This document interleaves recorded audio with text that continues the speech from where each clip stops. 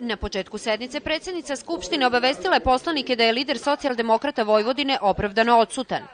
Činjenica da Nenad Čanak boravi u kući velikog brata, a ne u Skupštini, nije zabrinula vladajuću većinu, iako bez njega za donošenje zakona ima 127 poslanika. Mi nikada nećemo dovesti u pitanje mogućnost da se ovako važni zakoni donesu e, zbog bilo kakvih medijskih ili drugih akrobacija, te u tom smislu javnost ne treba da bude zabrinuta. Nismo toliko ugroženi po pitanju glasanja, tako da želimo sve najlepše, naravno, ukoliko pobedi, valjda će da počasti i predstavnike vladajuće koalicije i opozicijone poslanike. Ja nisam mogao da verujem to kad sam video sinoć.